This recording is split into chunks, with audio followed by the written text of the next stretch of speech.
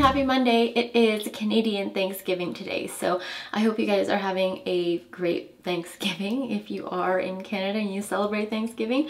If you don't, I hope you just enjoyed your sad holiday. Today, I wanted to talk about a project pan that I'm doing. As you guys know, I was on a no-buy for the month of September. I thought it would be difficult to suppress the urge to go out and buy new makeup, but actually it wasn't that difficult. And it kind of helped me rediscover a lot of my favorites that I already have in my collection. In doing that, however, I realized I have quite a few older pieces makeup.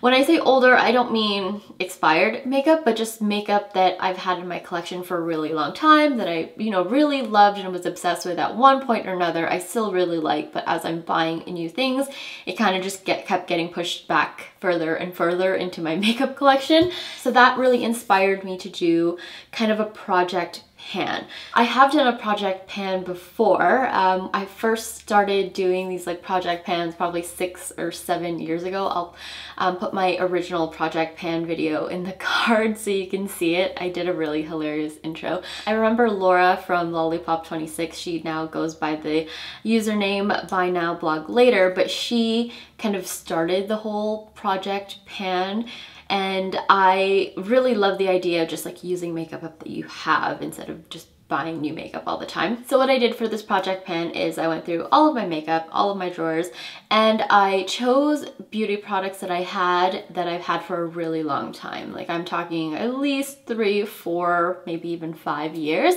I know realistically I'm not going to use up all of these products by the end of the year, but I do want to see if I can put a significant dent in them in the two and a half months of 2018 that are left. So before I go on, let me show you the products that I have included in my project pan. So starting with a base.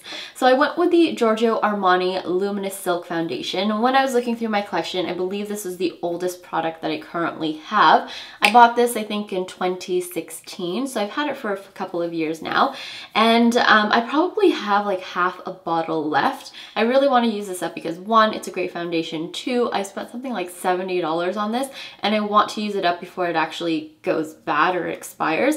I used it today and it still applies beautifully. It hasn't gone off. It doesn't have like a weird fragrance. So this is the base that I'm mainly going to be using over the next few months. Of course, I will probably change it up every once in a while, but for the most part, this is the one that I, I really want to try to get through. Now I have been on a concealer buying binge lately. For some reason, I have just had the urge to pick up new concealers. But I still have quite a few concealers that I really love in my collection that I really should use up before I buy a new concealer.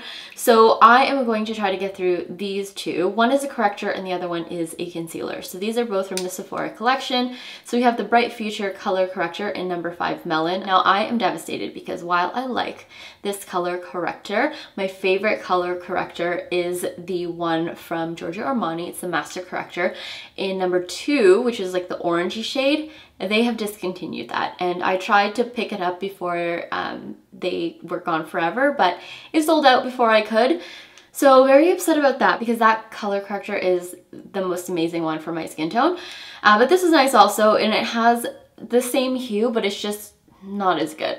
As for the actual concealer, I am going to try to use up the Bright Future Gel Serum Concealer. Now I am in number 10 Eclair.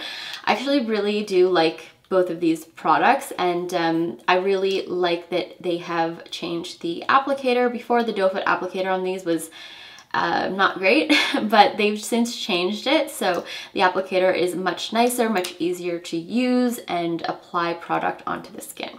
So moving on to powders, I have an Hourglass Ambient Lighting Powder in Diffused Light. When these were first released, I jumped on them because I just absolutely love the texture of them. I love how they look. Um, diffused Light is the kind of pale yellow shade. And while I like the shade and the powder and the formulation is superb, I just don't feel like I gravitate towards this as much. The Dim Light, which is more of their beige powder, I have used one up in its entirety and I also repurchased that one. But this one is still the original powder that I picked up I don't know, four-ish years ago. So I definitely want to try to use this up. I use this mainly under the eyes, but maybe I'll try to set my face with this just to um, use it up a little quicker. So for bronzer, I have chosen the Dior Skin Nude Tan in 002. I believe it's Sunlight. As you can see, I've already hit pan on this because I absolutely love this. I've had this for about four or five years now, so quite a while, at least it feels like that. Um, and I love it. It's not your matte bronzer per se, it kind of has more of a satin finish. I like how it has a little bit of a sheen to it, so when you apply it, it actually gives you a really nice glowy look to the skin. Now it is pretty rare that I hit pan on a product, so you can obviously tell this is very well loved.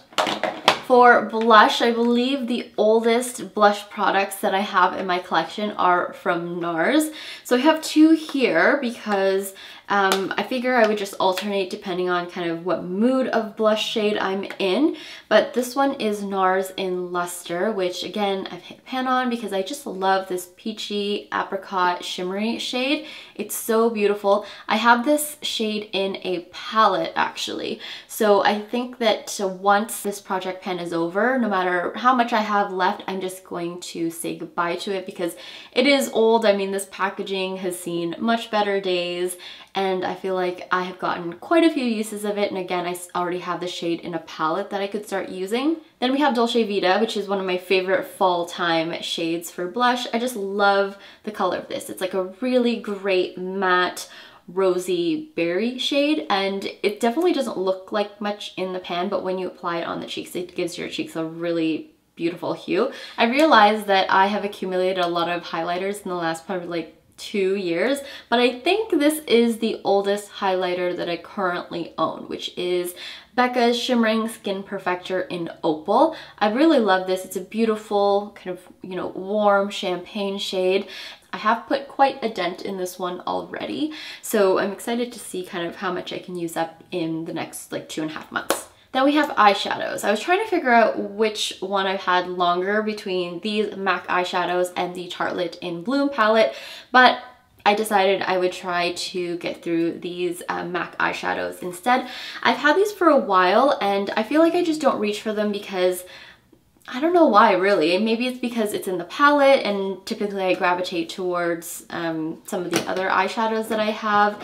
But I love these shades. I mean, I handpicked these shades. So if I remember it correctly, I believe this is All That Glitters, um, Saddle, Sable, Espresso, Woodwinked, and I feel like this is Wedge.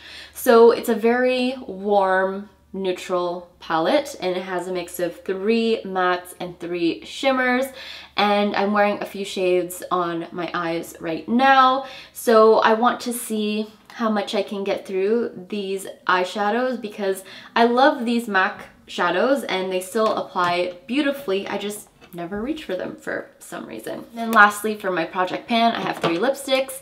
So these are some older lipsticks again that I have in my collection that are still in great shape. I mean, they haven't gone bad. The formulation is so lovely.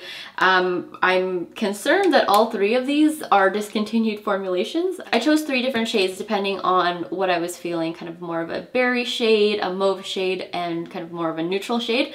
So here we have the Hourglass um, Femme Rouge lipstick in Nocturnal, which is beautiful, beautiful berry color.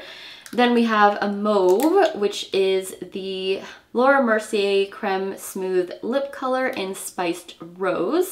So it's more of like a pinky mauve shade, which I'm currently wearing on my lips right now. And then if I'm looking for kind of a lighter peachy nude, I chose the Dior Addict lipstick in Silhouette. All three of these I love. They made it through my last declutter, so I really enjoyed the formulation and the colors. But again, don't really gravitate towards them because I always buy new things and I kind of forget about the old things. So this is going in my project pan. Like I said, I do not expect to use up all of these products, but I am you know, excited to see the progress that I make in using these up. So that is it. I'll probably post a get ready with me later this week to show you guys some of these products in action. And then I'll do my first update probably at the end of the month to see where we're at in terms of progress. Before you go, you'll have to let me know if you have done a project pan before or something similar to it, or if you're currently working on a few products right now. But I hope you guys enjoyed watching this video. Again, happy Canadian Thanksgiving, and I will see you guys in my next one. Bye.